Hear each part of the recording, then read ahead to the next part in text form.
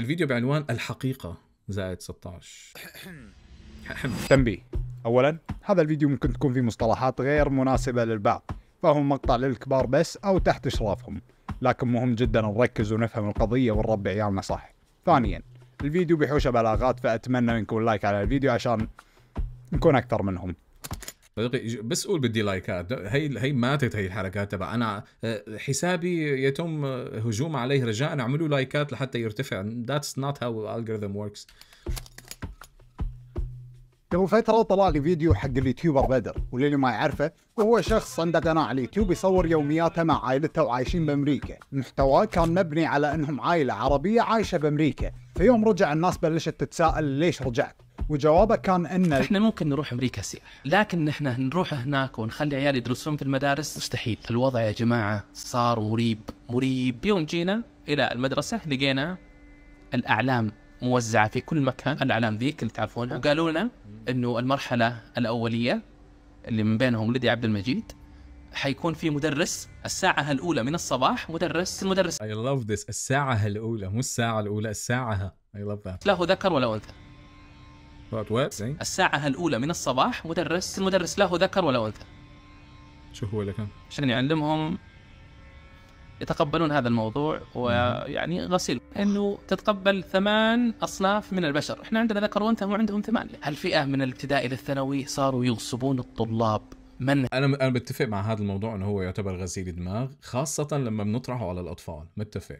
لأنه هذا هذا هذا هو مفهوم التلقين إنك أنت حاكي ال- الناس بفترة ما عندهم تفكير نقدي أو فكري كافي ليتخذوا قرار حقيقي عن الشيء المطروح. بمعنى إنك أنت عم تطرح شيء لا يمكن تحديه لهذا الشيء. أنت عم تطرح شغلة ما حدا بيقدر يتحداها ما عندهم الإمكانيات والحكمة والخبرة لأنه يتحدوها. بيسمعوا وبيصدقوا فقط. فأنا بتفق معه بهي الفكرة إنه بتحصل وبتصير وبعترض بوجودها أصلا من أساسه. أنا أنا الصورة واضحة جدا بالنسبة لي لما بنتكلم عن الأطفال والتعليم الجنس خارج الموضوع تماما. شيء اعقد من إنهم يفهموه بسهولة شيء كتير خطر حتى أحيانا بأماكن معينة. يمكن الشرح العلمي لممارسه عمليه التكاثر البشري اللي هي مشابهة للحيوان. طبعا ممكن حدا يزعل من هالكلمة لكن بتكاثروا مثل ما نحن بنتكاثر. شو بنعمل؟ أصدقائي إذا زعلتوا منها بتزعلوا.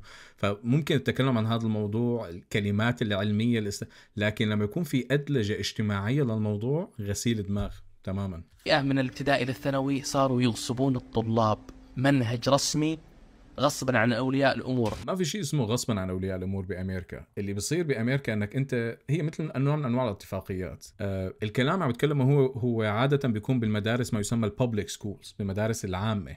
اللي مجانية وهي الأشياء فبينزل تحت هاي الاتفاقية اللي أنت فيها انه نحن بنعلم شغلات معينة. فمو غصبا عنك بنعلم وإنما إذا أنت حابب تمشي معنا بهذا المجال يعني إحنا بنتكلف بكذا وكذا وكذا بمدرسة عامة نحن بنعمل هي الأشياء. فما لك مجبور. فيك تقيم الأولاد تحطهم مدرسة خاصة أو فيك تعمل شيء اسمه home schooling فكلمة الإجبار هي شوي يفهم منها أجندة خاصة للأخ. أمريكا لها دور اقتصادي وسياسي كبير بالعالم كله مو بس بأمريكا. وهالشيء أعطاها قوة إنها تغسل مخ أي أحد تبي بسهولة. فخلينا نبلش الموضوع من البداية ونفهم شلون بلش.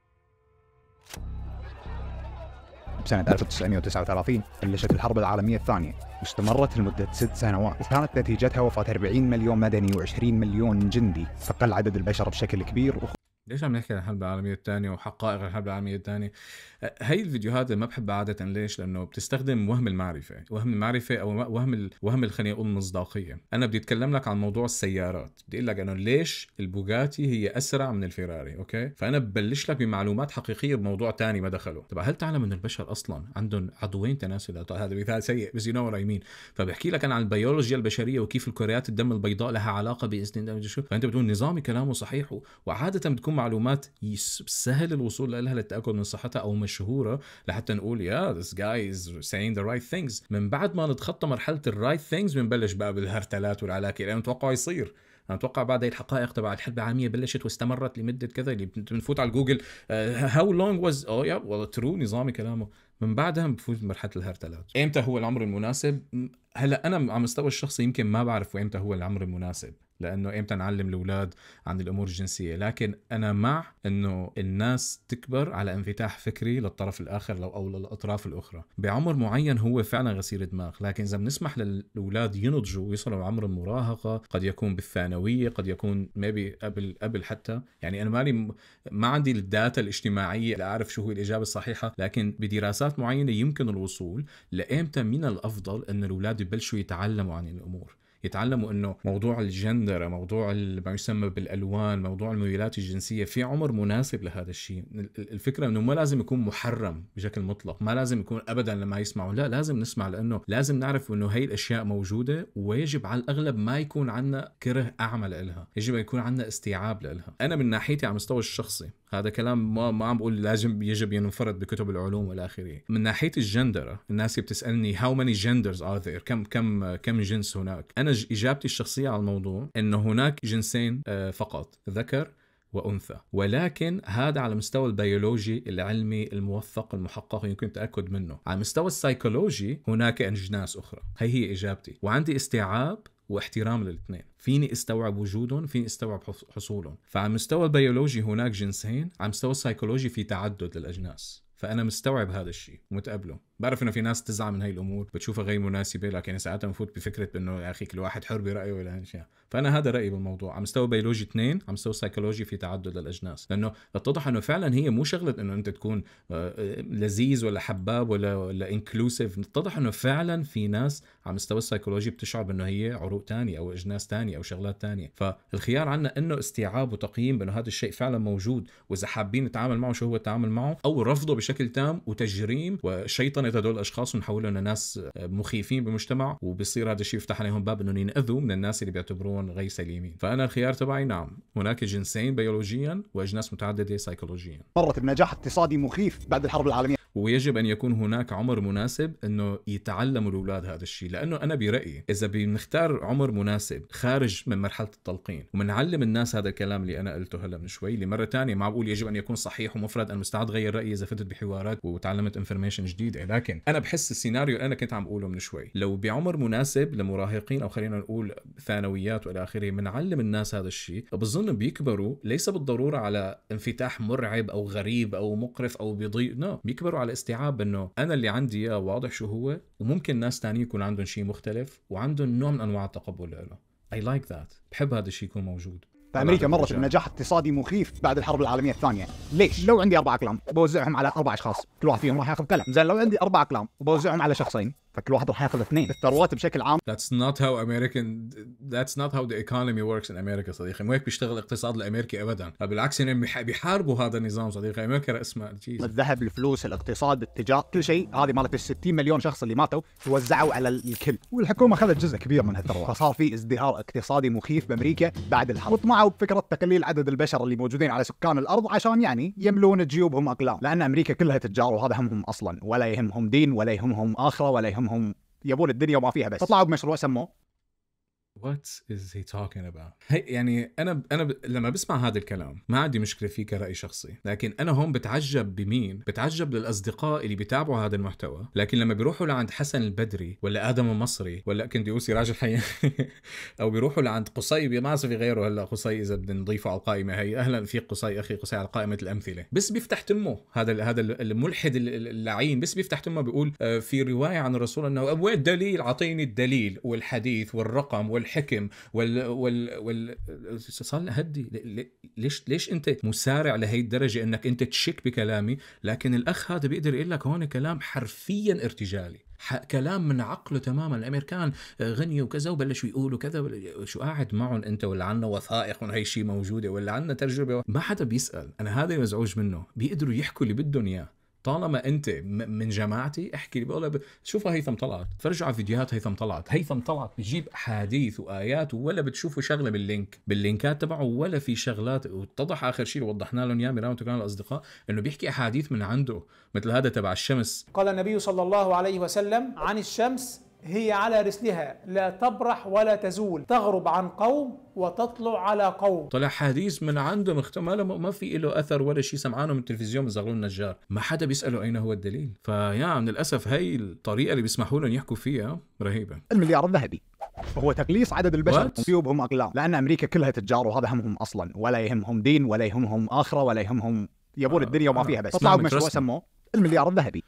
هو طلعوا بمشروع سموه المليار الذهبي. هي نظرية مؤامرة أصدقائي. هذا ال- حرفيا الوصف تبعها هي نظرية مؤامرة. وهلا بشرح لكم ليش. إذا حكى عنها أكثر بشرح لكم شو الثغرات تبعها. تقليص عدد البشر من 8 مليار شخص على الكوكب لمليار واحد. عشان ثروة السبعة مليار اللي ماتوا تتوزع على مليار واحد بس. إحنا That's how reality works أصدقائي. لما قاعد نقول هني نظرية مؤامرة إحنا ما قاعد نتكلم عن الماسونية ولا أشخاص مجهولين. إحنا قاعد سأوالك نظرية مؤامرة إنه ما بيعتقد هو إنه هي نظرية مؤامرة. ح... حو... ما حخليه يكفيها للشرح تبعها لأنه شرحه مزعج أكثر ما هو مفيد. لكم شو هي النظرية ليش الثغرات تبعها. هي النظرية أول شغلة الواقع بيطعن فيها. مفهوم إنه من بعد ما نجح بالحرب العالمية الثانية قرروا يعملوا المليار الذهبي. شو النتيجة لوقتنا الحالي؟ إن كانوا هن فعلا مسيطرين وكبار الكون وشو بدهم بيعملوا بصير. النتيجة اليوم عندنا 7.7 وصلنا بال 8 مليار نسمة. يعني هن مو بس فشلوا بالخطة اللي حاطينها المتحكمين بالواقع تبعنا مو بس مو بس فشلوا فشل ذريع لا يمكن تصوره. يعني أنت لو عندك عن جد قاده لكرة أرضية حابين يعملوا هاي الخطه كانت يعني بأسوأ أحوال فشلهم كان عواد ما يكون مليار كنا 3 مليار. لأن خطتهم مليار. 3 4 maybe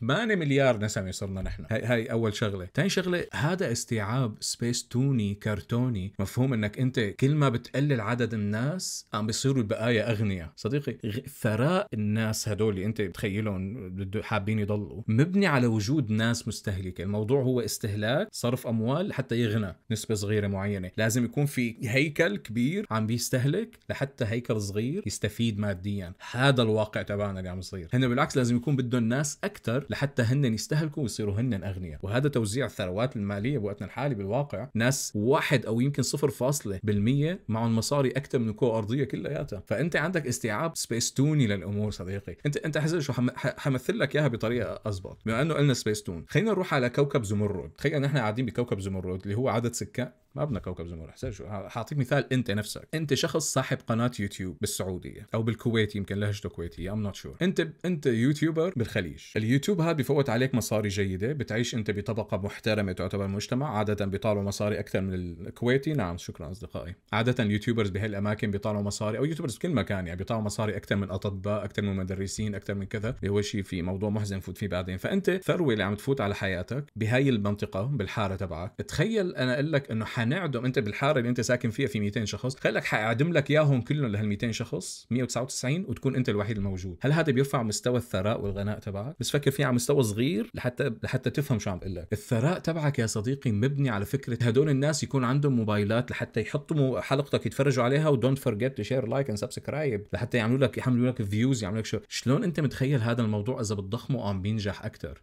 إنه اقتلوا الكل وخلوا بس مليار غني. مو هيك تشتغل الأمور يا صديقي. لكن الثقة تبع هاي الناس هي مزعجة أكثر من أي شيء تاني. الجهل يمكن يمكن استيعابه. ال- الغباء أيضا في فرق بين الغباء والجهل. الغباء يمكن استيعابه لكن الثقة مع هدول الأشياء شكله محزن. قاعد نتكلم عن أكبر تجار موجودين بأمريكا وطبعا ما راح يسوونها بسهولة ولا راح يسوونها أشكال عين عينك. راح يذبحون شلون؟ 7 مليار بني آدم. السلام عليكم. خلاص صراحة وللخطه بقى اللي هي البشر الموجودين أصلا لا يجيبون بشر جدد. مو تهووا فكونا من شركم ولا تجيبوا لنا ناس زيادة. أوكي بس شلون؟ يغيروا رأيهم من الخطة ألف. ما حيقدروا يقتلوا 7 مليون نسمه عم أقول لك لا مخليهم ما يتكاثروا. طيب شلون؟ حيشرح لنا شلون. باختصار ننشر ونزرع أفكار ضد الفطرة البشرية اللي تخلينا نكون علاقة مع الجنس الثاني. مع التحفظ على شو هي الفطرة والتفسير تبعها أصدقائي. ال. جي بي تي. مصطلح يستخدمونه لهالمجتمع. ال لزبيان بنت وبنت. جي جي. ولد ولد. بي باي. عندي مشكلة معاهم هذول لأنه عندهم مشكلة. أشرحهم. بنت ولد ميت اللي هو. تي trans B bi. عندي مشكلة معاهم هذول لأنه ما عندهم مشكلة بأي شيء. بنت ولد ميت اللي هو. تي الباي سكشوالز أصدقائي هن الناس ما عندهم مشكلة برجل مرأة طفل ولد ميت. هي هي هي هي التدريجات تبعهم. يعني عمل search صغير على الأمور هي ما تحكي فيها bro ومن رأيي الشخصي المتواضع إن سبب التسمية هذا أكبر سبب إن إحنا ممكن نعادي هالمجتمع. لأنه ما عندهم مبادئ. ابدا. بالبدايه كان أربع حروف بس اللي قلت لكم اياه بعدين صارت LGBT ضافوا Q ضافوا معاهم الناس المشككين اللي ما يدرون هم شو يحبون وسموهم ال questioning اللي أو اللي يتساءلون شنو يحبون. It's queer صديقي. بعدين صارت ال جي بي تي كيو اي اي بعدين شافوا إنهم قاعد يضيفون. فشو I A لا ال I A شو كانت؟ ال A asexual وال I ال intersexual ما؟ حطوا حطوا plus. لأنه ما في مكان أتوقع بال- بالويكيبيديا أو بالدفتر يكتبون ما في مكان حق الباجي لأن هذا صار اسمهم. Wow. كل حرف يشرح ميول معينة. كل واحد طبعا. يعني أنا معك إنه التشعبات أحيانا بتكون مضحكة لكن ليست بالضروره تعني إنه الفكرة غلط من أساس أن صار تشعبات. يعني إذا بدك تطبق هذا القانون أنت تبع بحال وجود تشعبات وتسميات واختلافات معناتها الفكرة غلط مجبورين إحنا الإسلام ندرجه تحت هذا الشيء. لأنه أنا بحب الناس اللي بتقول المسلمين صاروا مليونين نسمة. أنت أنت بتفكر كلياتهم مامنين بنفس الفكرة بنفس الصياغة بنفس. ال... صديقي أنت بس تطلع ما عم بقول لك أنا شيعة وسنة حتى. ما عم بقول لك على المذاهب. بس تطلع انت على على ما دون المذاهب لسه. اطلع على المدارس الإسلامية والأفكار الإسلامية والأشاعرة والحنابلة والاختلافات اللي أحيانا بتكون بسيطة بنكون واقعيين نعم بس في اختلافات أيضا بين المتكلمين وغير المتكلمين والقرآنيين وغير تشعب الموضوع وتغير الأسماء لا يعني سوء مثل ما أنا هلأ ما فيني أقول لك الإسلام غلط لأنه في تشعب أنت أيضا ما فيك تقول الاشياء الثانية غلط لأنه بيكون فيها تشعب فكذلك. قال أنا أحب الشيء الفلاني حطوا له حرف لو أقول إنه جوي حيوانات راح يحطوا لي حرف أنا متأكد. هذا إذا ما في حرف أصلا. هاي إسقاط جميل أيضا إنه تبع بما أنه عم تسمحوا أنتم للشباب والبنات يكونوا مع بعض فعناتها أيضا بكرة حيطلع لكم واحد يقول أنا بحب مع الحيوانات وحطوني معه. هذا هذا حركة رخيصة ومقرفة هي الحركة. وفيها عدم تقييم لحقيقة الناس الآخرين. إنه أنت عم بيحط لك تصور إنك أنت إذا قبلت إنه في إنسان مثلي بحب يمارس جنس مع شيء مماثل له فايضا أنت لازم تكون مع نفس الناس اللي بيحبوا يمارسوا يمارسوا الجنس مع الحيوانات. عم بيحطهم بنفس المستوى. هي حركة رخيصة ومقرفة جدا.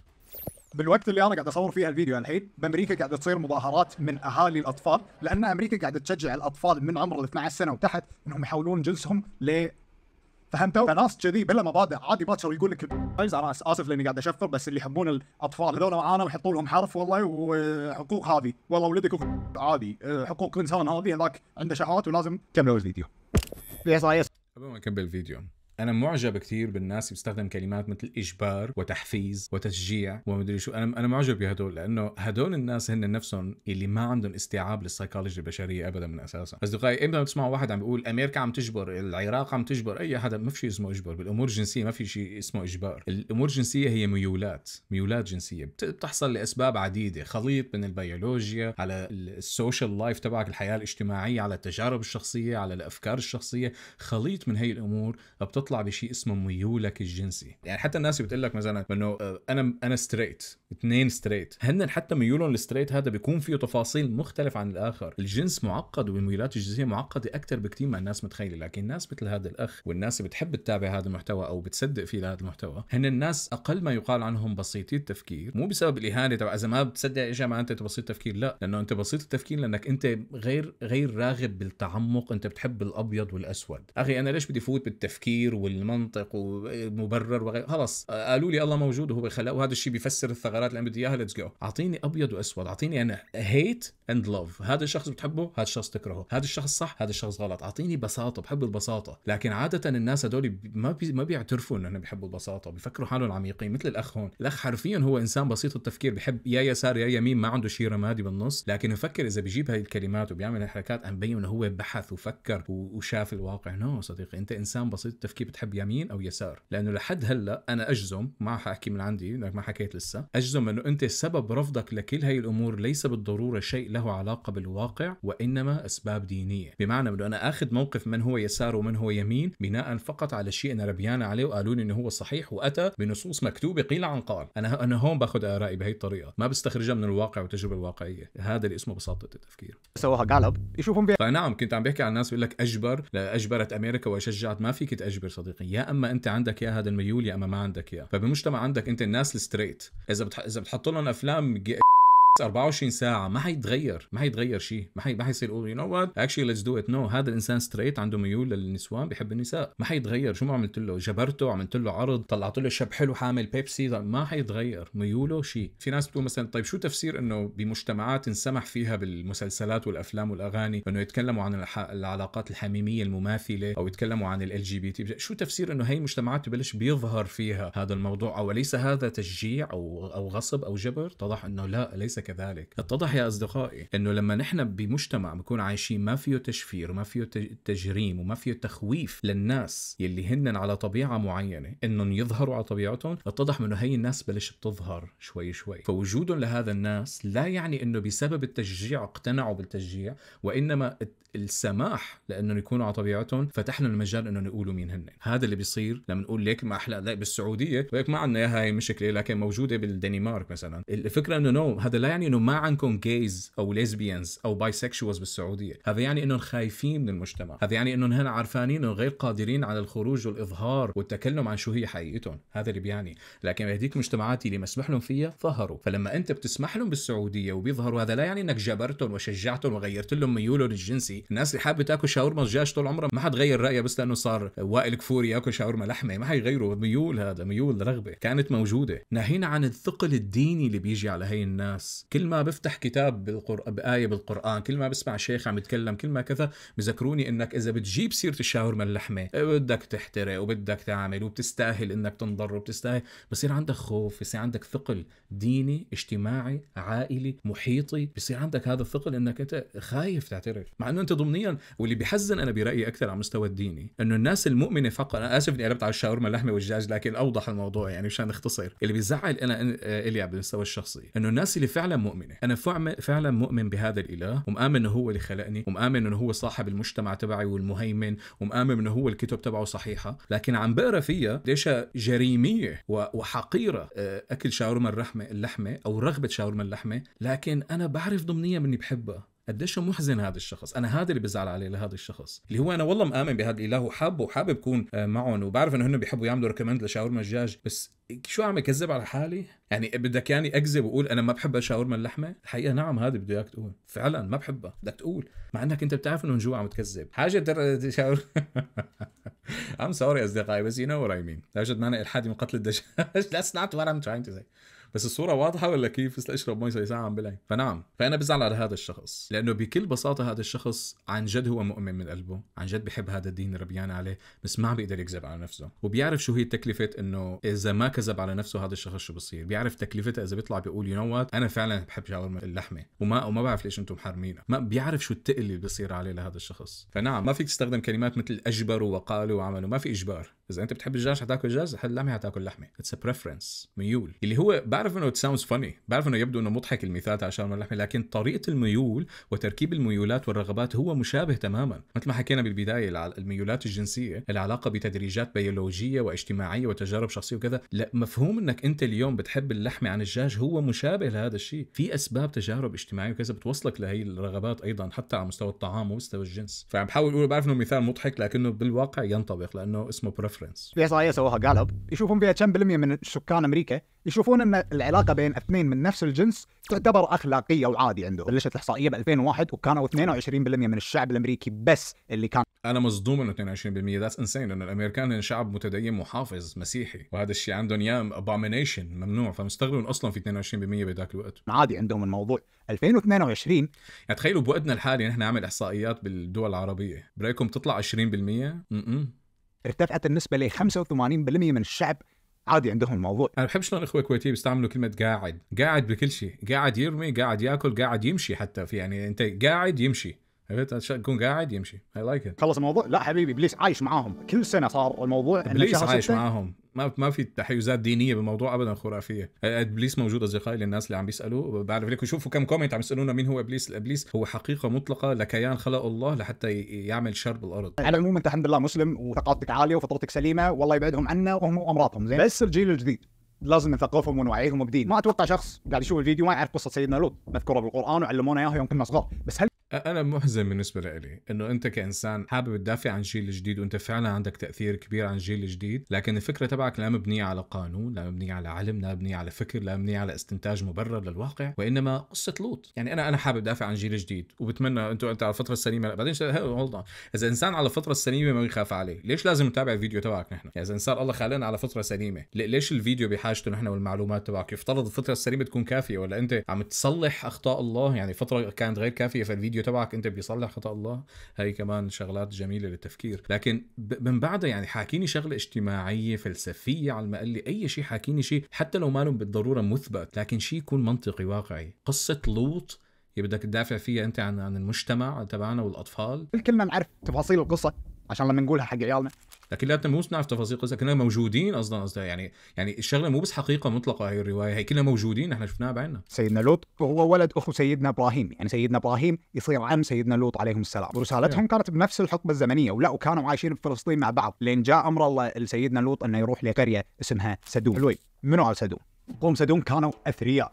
هلا الفيديو تبعه حلو طريقة التصوير الحركات هي he's funny يعني أنا عم بتخيل لو أنا إنسان أفكاري مطابقة لهذا الشخص بلاقيه كتير funny وبلاقيه كتير آه، لذيذ. أنا عم بلاقيه لذيذ ما عم بلاقيه funny بس آه، عم بحاول هيك حيد شوي تحيزاتي فك- فكرية لشوف المحتوى تبعه جيد طريقة تصويره يعني القصقصة وكذا it's very creative very good مو اغنياء أثرياء في فرق عندهم ثمار والله منعم عليهم. لين حاشهم قحط وفلسوا فعاشوا فترة صعبة حيل فابليس شاف شغلة يعني. ما بتمنى ما يشرح الرواية الإسلامية عن قوم لوط لأنه عن جد مضحكة ما بظن رح يفتح حاله بهالموقف المحرج. في فرق عندهم ثمار والله منعم عليهم. لين حاشهم قحط وفلسوا. فعاشوا فترة صعبة حيل. فإبليس شاف شغلة يعني. ما وصلكم للقحط اللي أنتم فيه إلا كرمكم صدقني. حبايبي كل ما مركم أحد ضيفتوه واعطيتوه من الثمار اللي عندكم وفلوس it. تبون الحل. عندي الحل يا جماعة. أي أحد يمر من صوب القرية أخذوا منه أربع دراهم وانكحوه من دبرة. كذي راح يكره هلا حسب الرواية الإسلامية أول شيء بتنكحوا من دبرة بعدين بتاخذ منه أربع أربع دراهم. قريتكم راح يكرهكم. ما راح يرجع مرة ثانية للقرية وتصيرون أغنياء مرة ثانية. عجبتهم الفكرة. فإبليس تغول على هيئة أجمل ولد شافوه. الأخ عم بيحكي كانها حقيقة مطلقة. هي الرواية المفرطة للضحك عم بيحكي شوفوا الثقة اللي عم بيحكي فيها كأنه مو بس مو بس حقيقة مؤرخة كأنه شاف بعينه. شو صار؟ عجبتهم الفكرة. فإبليس تغول على هيئة أجمل ولد شافوه الناس بوقتها. فسووا فيه اللي سووه يعني. وصارت عادة من عاداتهم إن أي أحد يمر على هالقرية حتى لو من بعيد هوب تلوه صاروا بوقونه ويسوون. سووه يوم بدأ الموضوع شيء يجر شيء. شيء يجر شيء لين صاروا أنجس شعب على كوكب الأرض حرفيا. مجال. أنا معجب بهذا الشخص بصراحه معجب إنه ما له مجبور يجيب أدلة علمية أدلة منطقية أدلة فلسفية اجتماعية إنه بيجيب لك رواية لوط وبيشرح لك الطرف المحرج تبعها اللي بيتهربوا منها العادة الدعاة اللي هي رواية حقيقية ثابتة حتى عن رواية عن ابن عباس. اللي هي شو صار أصدقائي؟ حسب الرواية الإسلامية لم يكن هناك لواط أو مثلية جنسية بين رجل وآخر قبل الحقبة الزمنية تبع لوط. عليه أفضل الصلاة والسلام. لم يكن هناك. يعني ال- الإسلام ما له سمعان بالتاريخ البشري ما له سمعان باليونانيين ما له سمعان بال... بال... ما له سمعان بأي حضارات تانية شو كانوا يعملوا بالميولات الجنسية تبعهم والى اخره مو سمعان الله عن هي الأمور. المهم حسب الرواية الإسلامية اللواط أو المثلية بدأت مع قوم لوط. شلون بدأ هذا الفعل؟ لما سألوه للرسول كيف بدأ هذا؟ قال لهم من قوم لوط. كانوا أغنياء ومبسوطين وسعيدين لكن دار عليهم الزمان وصاروا فقراء واكتشفوا إنه سبب فقرهم هو إنه كانوا كريمين مع الآخرين. أي حدا بيجي بيطعموه أي حدا بيشربوه. فهذا الشيء اللي جاب عليهم الناس أكثر صارت الناس تجي تستغل الكرم تبعهم. فهون اجى الشيطان لعندهم بعد ما فقروا. ليقنعهم يغيروا الآلية تبعهم. بس لما بنقول اجى الشيطان أنا ليش عملت لكم استنوا شوي لنجيب الآية؟ لأنه لازم نعرف إنه ما في شيء اسمه يجي الشيطان من نفسه الله يرسل الشيطان. عندنا آيات كثيره بالقرآن بتتكلم انه الله إذا أراد أن يفسد قوما أفسدهم وأغواهم ودمرهم بفساد والى اخره لكن الآية بتوضح الصورة اللي أنا حابب أوصلها هي ألم ترى أن أرسلنا الشياطين على الكافرين تؤزهم أزا؟ الله هو اللي بيرسل الشياطين. والأز شو هو؟ الإغواء أصدقائي. خلينا ندور في تفسير. يمكن طور يعتبر ألم ترى أن الشياطين على الكافرين؟ أي سلط سلطناهم عليهم بالإغواء. تماما هو الإغواء. حتى عندنا بالتفسير ثاني تغويهم اغواء تماما تؤزهم أزا هو الإغ- الإغواء. فما في شيء اسمه اجى الشيطان. هو عم بيحكي لك اجى الشيطان كأنه الشيطان هو شرير وحب يخدعهم كله بأمر إلهي عم يصير هذا. الله هو قرر ان الشيطان ينأز عليهم لهدول القوم. فشو الحكمة الإلهية تبعهم؟ عشان يحولوا لناس سيئين ويبلوهم بأعمالهم. يعني الله بيحولهم لناس سيئين وبيبلوهم بهذا السوء وبي- وبيقتلهم على أساسه. شو كانت الخطة الإلهية اللي تجسدت بعمل الشيطان؟ يلي بيجي لعندكم لا تستضيفوه. هي هي كانت الخطة ال- اللي يبدو منطقية؟ لا. طيب. يلي بيجي لعندكم اشتموه. هي هي الخطة؟ no no. يلي بيجي لعندكم ضربوه يا أخي no no. يلي بيجوا لعندكم تنكحون دب اللي بيجيكم ضيف تنكحون دبره ويؤخذ منه أربع دنانير. ما في حل تاني. وهدول الناس كانوا على ما يبدو أغنياء بفترة معينة وأيضا ما يبدو أذكياء بما فيه كفاية ليكونوا أغنياء لكن فجأة اقتنعوا بهي الفكرة الرهيبة من الشيطان. تنكحوا دبره وبتاخذوا منه أربع دنانير. ما في حل تاني. ما كان بيكتفي إنه نشتمهم اللي إجوا أو نكون غير كريمين معهم أو نضربهم. لا لا لازم ننكح الرجال. وناخذ منهم أربع دنانير. هيك بلش. بلشت حسب العقيدة الإسلامية والرواية الإسلامية هيك بلشت المثلية هيك بلش اللواط تاريخيا. في حدا عنده مشكلة لحد هلأ؟ طيب خذوا أربع دنانير بدون تنكحوا. طيب أنا الآن حزتش أنا خذوا أنا انكحوا بدون ما تأخذوا أربع دنانير. يعني فكرة يعني ليش مش موعين التنتين سوا؟ إذا بيجوا لعندكم الناس تاخذوا منه أربع دنانير هي لحالها كافية للنفور أو إذا بيجوا ما بتاخذوا دنانير بس تنكحوه أيضا كافية للنفور. ليش تنتين؟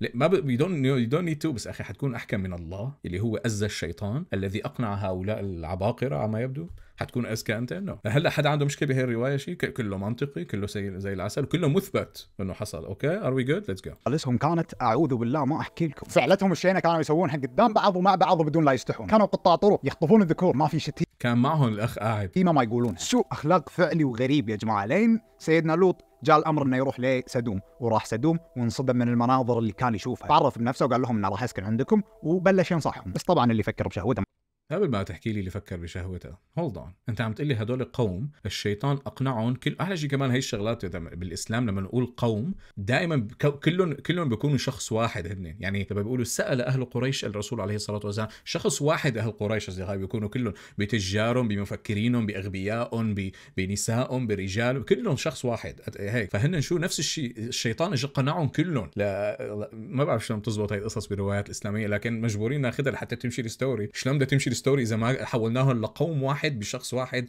بياخذوا رأي واحد. it has to work فنعم. بس أنا اللي دققت عليه هون إنه hold أنت عم تقول لي انه ذهب لوط عليه أفضل الصلاة والسلام وعاشر هؤلاء الناس. ماذا يفهم من هذا الكلام أصدقائي؟ إذا هدول الناس ملقنين شيطانيا إنه أي حدا جديد بيجينا we have to do this أها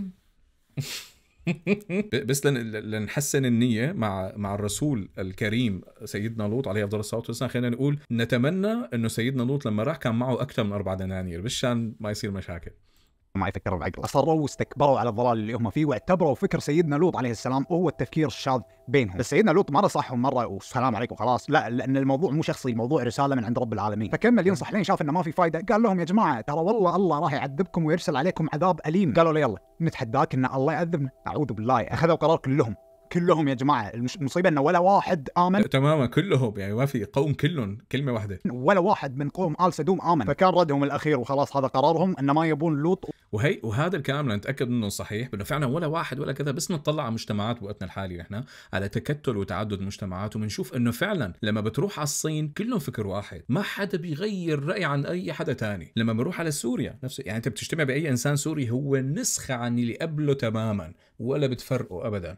على السعودية على الكويت وين بتروح فاللي عم يشكك بهذا الكلام كلي الصدق بس يسأل نفسه للحظة شو المجتمعات اللي بوقتنا الحالي شكلها؟ أو ليسهم كلهم على طبق واحد؟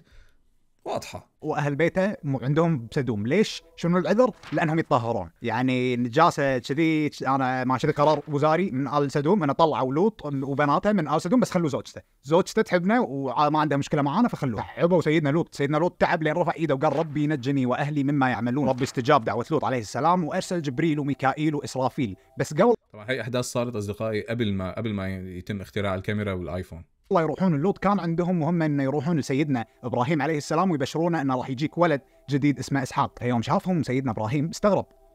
سؤال كيف كانوا يتكاثرون إذا ما كان في إلا لواط straight هلأ خليطك بين كلمة لواط و straight is very funny I love it I hope he did it intentionally you funny bastard بس uh, هن يقال إنه نتكاثروا قبل ذلك. يعني هن التكاثر تبعهم كان موجود قبل ما يصيروا كلهم لواط لأنه هيك تشتغل الميولات الجنسية أصدقائي. الشيطان بيقول لك أعمل شغلة قام الكل بيصيروا بيقدروا يعملوا. بعدين عندنا مشكلة ثانية نسيت لكم عليها. عندنا مشكلة ثانية لما كنا عم نتكلم عن من شوي عن الحكمة الإلهية بأز الشيطان وإغواء الشيطان لهدول الناس. حجيب لكم الروايه هلا صرنا مجبورين نجيب الرواية عن ابن عباس مثل ما كنا عم نقول الحديث عن ابن عباس آه، كان الذي حاول ايتان الرجال دون النساء إنهم كانوا لهم ثمارا في منال. هي الرواية اللي كنا عم نحكي عنها القصة فبيحب يدور عليها فيني شايك هذا اللينك يعني شاركه بالفيديو نفسه. بس أنا بدي أجيب لكم إياه هو اللي هون. عن ابن عباس قال إنما كان بدأ عمل لوط آه، عم إنما كان بدأ عمل قوم لوط اللي هو لوط أن ابليسا جاءهم عند ذكرهم ما ذكروا في هيئة صبي اجى هو بهيئة صبي. أجمل صبي رآه الناس. فدعاهم على نفسه فنكحوه. ثم جروا على ذلك.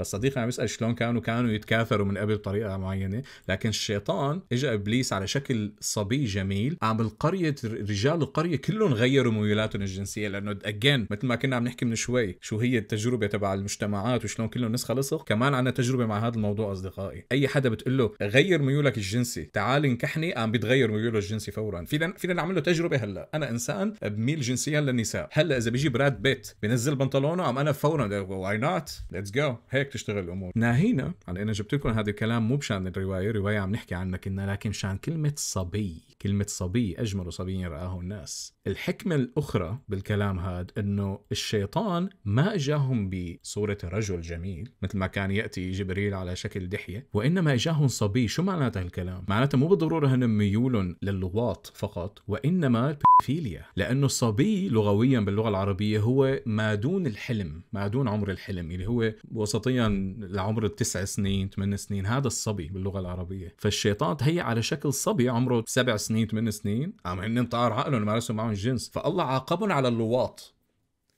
طيب إذا بدك تعاقبهم حصرا على اللواط بعت لهم رجل جميل. بعت لهم رجل شميل جميل شعره طويل أشقر ببشرة بيضاء وهذا اللي كانوا يتغنوا فيه العرب. بعت لهم ليش بعت لهم صبي؟ أنت ما فهمت أنت أنت بعت لهم صبي أنت ما فهمت هدول بيليين ولا ولا حصرا جيز ما, ما فهمت أنت كإله أنت ما ماك عرفان على شو عم تعاقب. عاقبوا لي هدول كلياتهم. ليش؟ آه، لأنهم أكلوا شاورما لحمة. آه، بس سعادة جلالك ووجودك. آه، أنت عرضت عليهم ايس كريم وهن اكلوا ايس كريم نعم لهيك نحن نحن بالدين تبعنا ممنوع شاورما لحمة. ف مره ثانية سبحانك وجلالك. ليش ما عرضت عليهم شاورما لحمة؟ إذا تعاقبهم على أساسه. هذا اللي صاير بال فالله بعث الشيطان لهدول القوم لحتى يحولهم لمثليين جنسيا ويعاقبهم على أساسه لكن بعث لهم صبي صغير. فما فهمنا العقوبة هي مستحقة ولا غير مستحقة؟ فيك تقول أنا عاقبتهم لأنهم كانوا يمكن ما كان بيقدر يقول إلهنا عاقبتهم على البيليا لأنه هذا شيء محلل بالإسلام اتضح. والرسول من بعد سيدنا لوط بمئات السنين عملها زوج القاصرات أو القاصرة. Anyways. قال فما خطبكم أيها المرسلون؟ قالوا إنا أرسلنا إلى قوم مجرمين إلا آل لوط إنا لمنجوهم أجمعين. إلا امرأته قد بعدين hold on سؤال ثاني إن كان إبليس تحول لأجمل ولد هل جاب معه أيضا أربع دنانير؟ ولا أول مرة مجانية كانت؟ إلا امرأته قدرنا إنها لمن الغابرين. هذه رسالة حتى اللي يقول ما لي شغل فيهم كيفهم؟ والله يسوون اللي يسوون أهم شيء ما قاعد يضر. لا حبيبي لازم نكون ضد هالموضوع 100%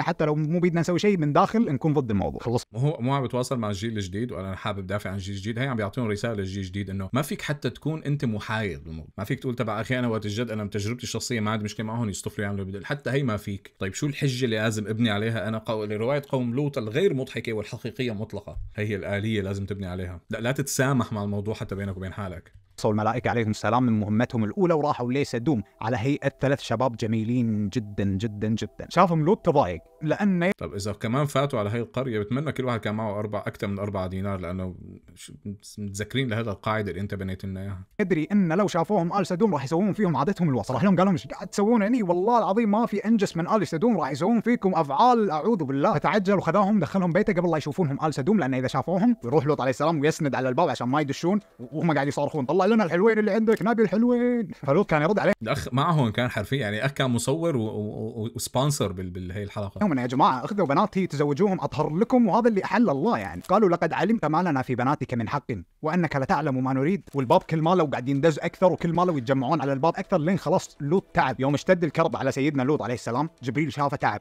فقام جبريل عليه السلام إلا جبريل يطلع طرف جناحه بس أغشاهم وأعمى عيونهم. الملائكة طمنوا لوط وقالوا عنده جناح آه، يعني بس طرف صغير من جناحه طق فلاشه عليهم كلياتهم. إذا بيلعبوا Counter Strike بيعرفوا شو معناتها. بطرف من جناحه. طيب ليش الملاك عنده جناح؟ هل هو لأنه الملاك عنده خيارين لحد ليش الملاك عنده جناح أصدقائي؟ يا أما رقم واحد الملائكة لما بتسافر للسماء للفضاء حتى مو السماء للفضاء مجبورين يستخدموا الهواء اللي, مو... اللي غير موجود لحتى يطيروا ويصلوا للسماوات اللي هو لا يمكن أن يحصل بالفضاء ما عندنا هواء وما عندنا اتجاهات أصلا نستخدم أجنحة. هي خيار رقم واحد. مستخدم يعني الله حاططهم زينة للملائكة أو مفهوم الملائكة وهي الأشياء مبني على روايات وخرافات تاريخية بشرية البشر انجبروا يتصوروا إنه هي كيانات يجب أن يكون لها ملائكة أجنحة لكي تطير لأنه الشيء الوحيد اللي شافوه بيطير هو الحمام والطيور امم يا ترى شو هي؟ هل الإجابة رقم A ولا B؟ ما في أقول رقم، ما فيك تقول رقم عمليا بالرياضيات. لا تضايق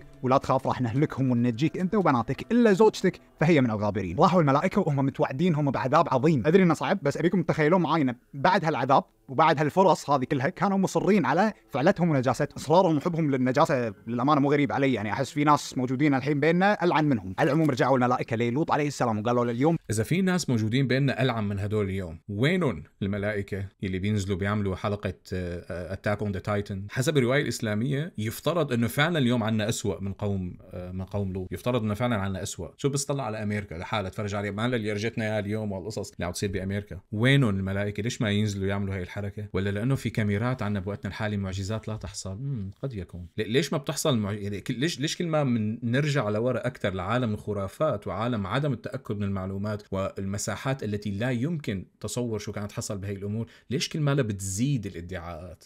مالك حاسس انه هي إشارة لشيء غلط؟ كل ما كل ما بنرجع تاريخيا لفترات لا يمكن تاكد من الأمور إن حصلت ما حصلت كل ما بيزيدوا الادعاءات تبعها. بكلمة واحدة قال اللهم ساعدني قام نزلوا الملائكة؟ نجي بعدين بعد كم 100 سنة بنصير عند محمد. امطر علينا؟ الله لا يمطر وأنت قاعد بيناتهم. نجي بعدين من بعده لوقتنا الحالي. وينهم هي؟ كل ما بنرجع لورا أكثر كل ما بيزيدوا الادعاءات وبتختفي الأدلة. بالليل أخذ بناتك وخل زوجتك بسدوم وأطلع وهاجر من سدوم لأنه راح كأنه نسي يحكي لنا قصة عن بناته لسيدنا لوط قبل ما ياخذهم ويهرب فيهم. كأنه حكى نسي يحكي لنا قصة هو يتحرج منها والعقيدة الإسلامية كلها بالأئمة تبعها. يعني مو بس هو إن كان هو متحرج منها لا ضير لكن حتى الأئمة تاريخيا متحرجين منها. كأنه نسي. مم. نرسل عذاب عظيم جدا جدا جدا لدرجة أن اللي يشوفه من بعيد بس راح يهلك. فحتى لما تسمعون صوتهم وراكم يتعذبون ويصرخون وتسمعون أصوات غريبة لا تلفوا. زوجته ما كانت تدري. فلفت شافت العذاب. كانت تصارخ وما. فانشملت زوجة لوط لأنها كان ما عندها مشكلة مع الموضوع. وحدها open minded بعذاب الدنيا اللي راح يوديها لعذاب أبدي بنار جهنم. بالنهاية الله خلق الملائكة بعقل بدون شهوة. خلق الملائكة بعقل بدون شهوة. عقل بدون شهوة. نو no. وخلق الحيوان بشهوة بدون عقل. no no. خلقنا إحنا عندنا الاثنين وخيرنا نكون اللي نبي نكونه. نمشي. يعني حتى حتى مشينا مع عقيدة إنه نحن مخلوقين وخلق حقيقي والله الخالق الاشياء لو تقول عن ملائكه عقل من دون شهوة شو معناته هذا الكلام؟ إنه عندهم عقل. العقل معناته التفكير. التفكير ينتاج معه هو اتخاذ القرارات. الملائكة حسب العقيده الاسلاميه صديقي لا تأخذ قرارات. الملائكة سمعا وطاعة. بعكس العقل تماما. فمفهوم البرمجة الآلية ما عندهم عقل. فيعني خاتمة جميلة to be honest انه إذا أنت بتميل لهذا المحتوى بتحبه خاتمة جميلة لكن ليس لها علاقة بالعقيدة الإسلامية. من بعد شو قال؟ الحيوان شهوة من دون عقل. أيضا الواقع ما بيثبت هذا الشيء. العقل أو ما يسمى بالعقل أو الوعي أو التجربة أو اتخاذ القرارات موجود عند الحيوانات مو بالضرورة شهوة على الكل. لكن مرة ثانية الأخ إنشائي كلامه وآخر شيء لك الإنسان عنده الاثنين وأنت بتختار. إن كلنا هذا كلام صحيح اللي أنت عم تقوله. الإنسان عنده الاثنين وهو بيختار. معناتها الأنبياء يفترض أن يكونوا من أحسن المختارين واحكمهم طيب شو عمل سيدنا لوط بالرواية اللي أنت نسيت تشرح لنا تحكي لنا عليها؟ شو عمل سيدنا لوط لما إجوا الملائكة لعنده بشكل رجل جميل وهجموا القوم عليهم؟ لنشوف الإنسان العاقل الغير بهيمي شو أخذ قرار. خلونا نشوفه سوا. وجاءه قومه يهرعون إليه ومن قبل كانوا يعملون السيئات. قال يا قوم هذا لوط عم يحاكيهم للقوم. هؤلاء بناتي هن أظهر لكم. سيدنا لوط اللي ما عم يمشي مثل الحيوانات اللي هي شهوة من دون عقل وإنما عم يمشي مثل الإنسان وخير البشر لأنه رسول عرض بناته على رجال يمارسوا الجنس معهم لحتى ما ينكسر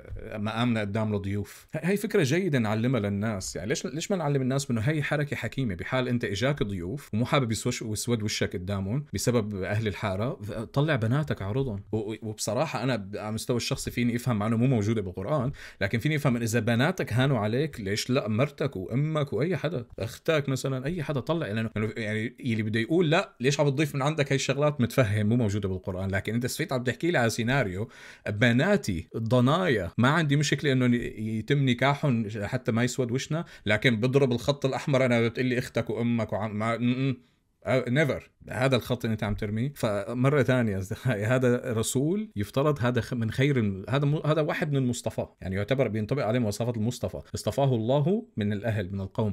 أخذ هذا القرار ومو بس هو اخذه الله عم يش... عم ذاكره بالقرآن على إنه فعلا ليس بالضرورة قرار غير حكيم. الله ذاكره بالقرآن على إنه قرار حكيم. على قد ماله تقي الزلمة. عرض نسائه. عرض بناته عفوا. فشلون حاولوا يهربوا من هذا المأزق الإخوة المؤمنين المسلمين؟ شو بيقولوا لك؟ بيقولوا لك آه لا هنا بناته تعود على أهل القرية. هي يمكن نلاقيها عند آه هات شوف ابن كثير عنده إياها. قال مجاهد لم يكن بناته لكن كنا من أمته وكان نبي أبو أمته. تماما. فيا هنا شو بيقولوا؟ إنه لما قال بناته قرآن للوط هو لا يعني بنات المباشرات وإنما هو بما أنه رسول للمنطقة فهو أبوها للمنطقة فهو أب لكل البنات الموجودين بهي المنطقة. فهذا اللي عرضه. فالسؤال بيصير مرة ثانية أو الأسئلة. إن كان لوط مبعوث على قوم كافرين لواط يمارسون الفاحشة وما بيسمعوا له على اي إساس نصبتوه إنه هو الأب تبعهم؟ يعني أنا متفهم لو أنت مرقت لي في قسم منهم كانوا يتبعون لوط اللي ما بيقدروا يعملوه حسب العقيدة الإسلامية. ليش؟ لأنه إذا بدك تقول في كان قسم منهم يعتبروا مؤمنين وآمنوا فيه معناته الله كان ظالم لما قلب القرية وقتلهم كلياتهم ضربة واحدة. ما فيك تقول إنه كان في متابعين. فصبيت أنت مجبر فقط تقول إنه هدول ناس كلهم كفروا ويستحقوا الموت لكن لوط كان أبوهم نفس الوقت. هو كان الأب الروحي تبعهم. وحتى ولو لو مرقنا هاي القصة وقلنا فعلا هو هو نفسه كان معتبر حاله الأب الروحي. هل أخلاقي إنك تعرض نساء لممارسة الجنس لحتى بس تبيض وشك قدام ضيوفك؟ يعني حتى لو افترضنا أنت قيم هذا المثال تبع بناتي أنا وأخواتي أو أمي وكذا. لو افترضنا أنا مختار ضيعة مختار ضيعة أو مختار قرية وصار عندي مشكلة بيني وبين ضيوفي حيسود وشي. هل من الأخلاق إن أنا أتصل على البيوت تبع أهل الضيعة ولا طلعوا لي نسوانكم كلياتهم بناتكم وخليهم يمارسوا الجنس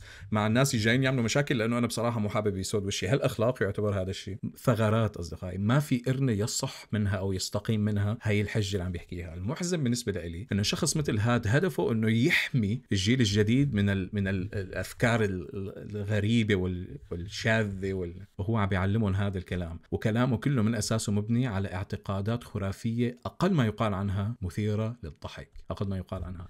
لأنه here's the thing لما بنتكلم عن الميولات الجنسية لما بنتكلم عن ال- الألوان والجندر وهي الأشياء أنا على المستوى الشخصي بدي أعيش بمجتمع موجود فيه شخص مثل هذا بدي أعيش مجتمع موجود فيه شخص مثل هذا. هو حابب على مستوى ديني أو بجوز تجربه شخصيه إنه أنا ما بحبهم لهدول الناس. لازم يكون في مجال لحدا مثل هذا يعيش أو يكون موجود بيناتنا. ما بصير نقول ما بدنا. من حقك تكون نازي بمجتمع آه، آه، حقيقي سال حر. من حقك تكون كاره للدين. من حقك تكون مؤمن بالدين. من حقك تعمل اللي بدك إياه. طالما ما بتأذي الآخرين طالما أفكارك لإلك ما بتأذي فيها الآخرين. لما بتكلم عن صانعين محتوى مؤثرين مثل هذا الشخص هم ببلش ب- بفكرة نشر الكره اللي هو أنه في كتير ناس ما بالضرورة كان حيمروا بالتجربة أنهم يصلوا لأنهم يكونوا سيئين مع هدول الناس أو كارهين لهم لولا أنه تفرجوا على هذا الشخص واقتبسوا أفكاره وأخذوها فهون لازم هيك شخص يحمل مسؤولية بهيك مجتمع. أنك أنت عم تنشر أفكارك اللي يفترض تكون أفكار شخصية وأنت حر فيها أنت عم تنشرها وعم بتضر الآخرين أنه يتحولوا لكارهين. لازم يكون مو ضرورة عقوبة أو شيء لكن لازم يكون في نوع من أنواع الريستريكشن أنا على المستوى الشخصي بهيك مجتمع بفضل يكون في حدا بيقدر يرد عليه ويشرح مثل ما أنا عم بعمل اليوم. بفضل المجتمع يكون موجود للاثنين حدا يقدر يحكي شيء يعتبر خاطئ ويطلع شخص يوضح شو هو الخطأ. أنا مع هذا الشيء بتمنى لكن هل هو موجود بمجتمعنا؟ السؤال حقيقي. هل إنسان مثل هذا بمجتمع تبعنا عنده تأثير قد أنا ما عندي تأثير؟ أكيد لا. أو مو مو أنا ما مستوش قصدي أي حدا معارض للفكر تبعه. هل حيلاقي المنصة اللي هذا ملاقيها هي حيلاقي القبول هو ملاقيه للأسف الوضع ليس كذلك. فالمعادلة كتير غير متكافئة. ثانيا أنا عندي احترام أكثر لإنسان يجي لي بعيدا عن الافكار الدينية بعيدا عن الافكار الشخصية والتحيزات الفكرية أنا درست الموضوع فكرت فيه وأنا بصراحة ما بحب الألوان وما بحب المجتمع الميم وما بحب المثليين ما بحب حدا ما بحبهم.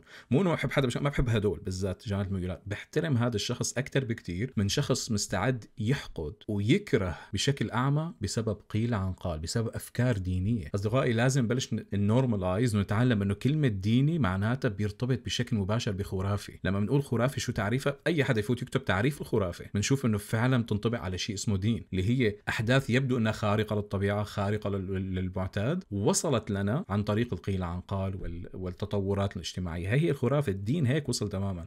فلما بتقول لي أنا باني فكري كله وحقدي وكرهي يعني أنا مو أنا مستوعب لسه إنك تبني عدم رغبتك على الدين. إنه أخي أنا ما عندي مشكلة يكونوا عايشين موجودين ما عندي مشكلة بيتقبلهم بدون ما يقرب عليهم لأنه خلص أخي الله موجود وهو بيعاقبهم أنا ديني هيك بيعلم. ما هذا ما عندي مشكلة معه لسه. لكن لتكره وتحقد مثل هذا الشخص هي هي درجة بتتكلم عن مستوى ذكائك صديقي لأنه الكره هو ش هو هو شعور قوي جدا. لازم يكون معمل له جنريت من شيء حقيقي. مثل الحب تماما لازم يكون فعل قوي وشعور قوي لازم يكون معمل له generate من شيء حقيقي. لكن كره أعمى بسبب قيل عن قال بسبب رواية تاريخية قريت لي إياها عن قوم لوط اللي هي مليئة بالثغرات المنطقية. ما فيك يقول عليها منطق ضحك بس just كوميديا الروايه على هي الرواية باري الكره والحقد تبعك انت وعدم تقبل الآخر وعم بتخوف الناس منه. حتى حتى ال ال ال حتى اللامبالاة ممنوعة. حتى لا- ما بصير تكون لازم يكون حاقد. اللي أنا بحبه بهي القنوات ناس مثل هاد وناس حتى مثل هيثم طلعت وغيرهم وفي هذا الشاب السعودي الثاني اللي بيحكي بطريقة هيك هادية وكل شوي بم بم أبيض وأسود وك... اللي بحبهم بهدول القنوات إن هن مو عرفانين إنه عم بيعملوا تأثير عكسي. ما نو عرفانين هن. maybe I tell them بس خلينا نحكيها. لأنه بصراحة أنا شايف ما عندهم خروج منها. هن علقانين بدائرة ما عندهم خروج منها حتى لو حاولوا.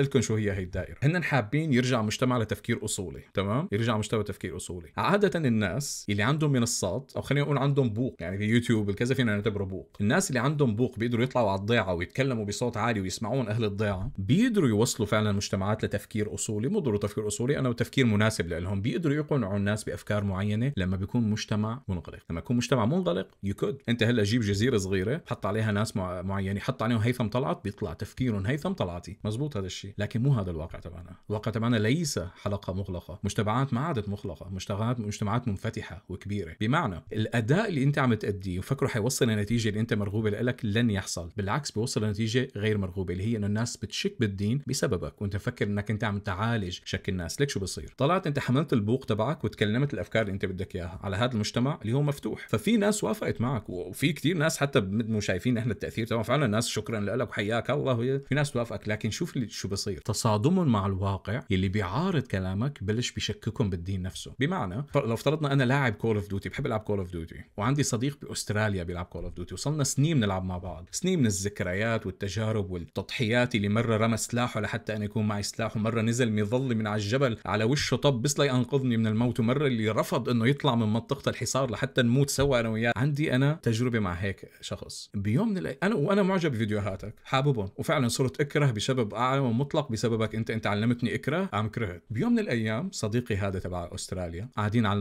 ال Discord أنا وياه. شو بيقول لي؟ أه حبيبي قصي أنا بس ثواني رايح سلم على ال boyfriend تبعي. هلأ اجى من الشغل وراجع لك عشان نفوت نلعب. boy boy what boyfriend يا boyfriend أنا. عندي boyfriend أنت gay يا. بلشت تصادم مع الواقع أصدقائي.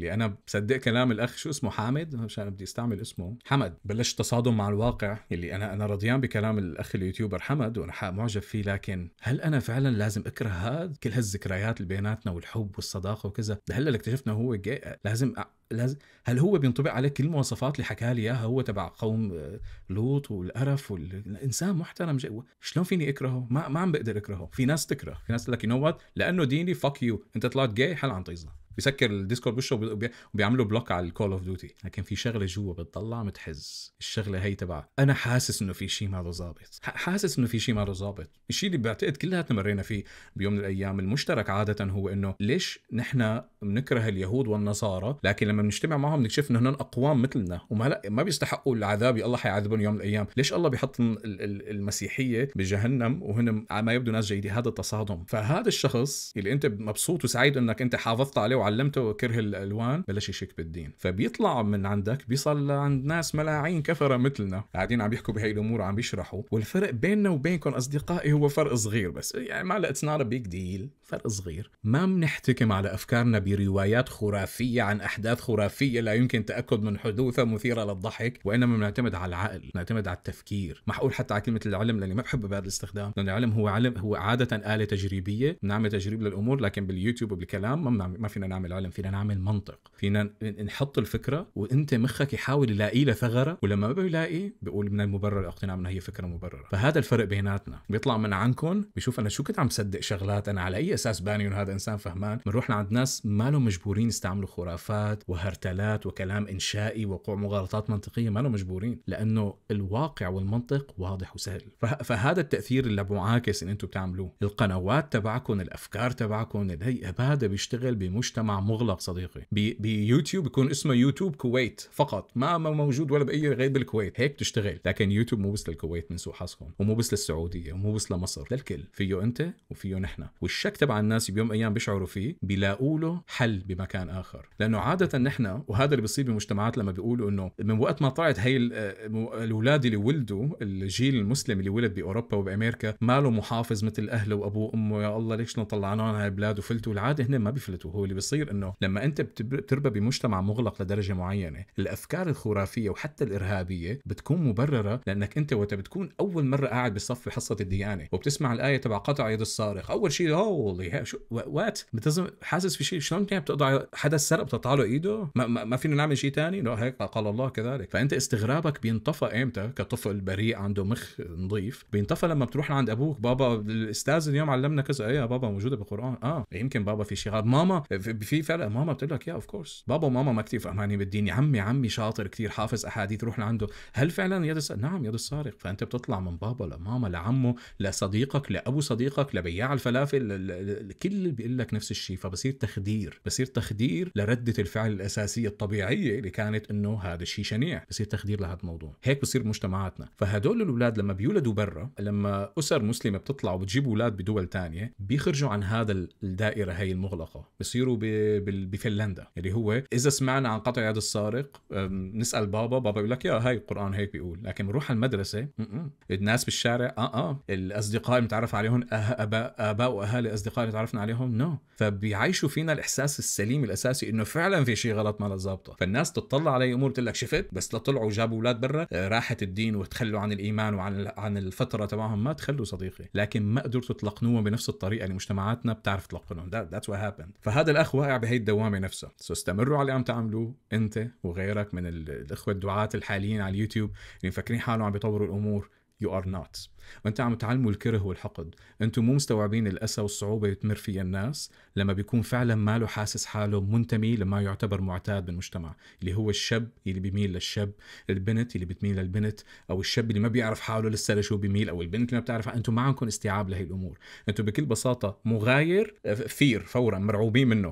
تحقير تجريم. ما كنتم مستوعبين إنه هي مشاعر حقيقية لأسباب متعددة وفعلا بيشعروا فيها الناس. ما بتعرف الخوف. أنت أنت حاول تصور إذا فيك.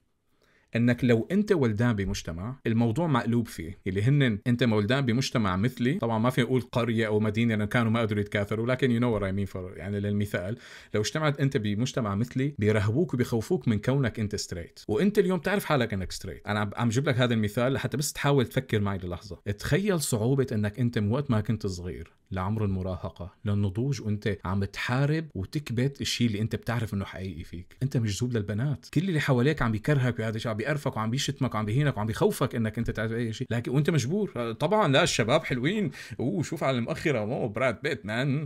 بس أنت من جوا أنت بتعرف إنه no انت بتعرف انه انت ما فيك. انت عم تتفرج على ال movie تبع مستر سميث مدري شو كان اسمه. الناس كلها عم تسفي لبراد بيت وبدهم إياك تعمل هذا الشيء لكن انت ما فيك تقيم عينك من أنجلينا جولي ما عم تقدر. انت هذه اللي مجذوب له هذه اللي بتلاقيه فتخيل الصعوبة إنك أنت تكون مكبوت بهيك مجتمع ومالك قدران هذا نفسه اللي بيشعروا فيه الناس اللي أنت طالع عم تضحك وتكره فيهم وتحقد عليهم وتجرمهم وتحولهم لناس سيئين. وعم بتقارنهم بروايات خرافية تعيسة على ناس سيئين. هذا الشعور تخيل حالك أنت مكانهم صديقي. كل اللي علينا نعمله التضح. مالك مجبور تتلون ومالك مجبور تشلح وتروق مالك مجبور تعمل شيء اللي عليك تعمله تستوعب إنه فعلا اللي بطريقة أو بأخرى في ناس بيمروا بهي التجارب وبيشعروا فيها هي حقيقية لهم وكل اللي عليك تعمله إنك أنت تقول أنا ما دخلني. بس هي مالك مجبور تتقبل حتى تقول لك أنت بس مجبور تتقبل مجتمع مالك مجبور. هلأ حكينا من شوي المجتمعات الحقيقية الحرة لازم الكل يعيش فيها حتى النازي أي حدا العنصري المتطرف للنساء أي حدا كل بحق له يعيش. لكن في حدود للشيء اللي أنت فيك تعمله لمرحله يعتبر أذى للآخرين. فنعم بحق لك أنت تقول غير رائع لكن على المقلي وقت بدك تكون رافض لهالموضوع. رجاء اعمل بحث تجربي حقيقي له ارتباط بالواقع تبعنا واحتكاكك مع هدول الناس لتعرف تاخذ رأي حقيقي ولا يكون مبني على روايات خرافية دينية.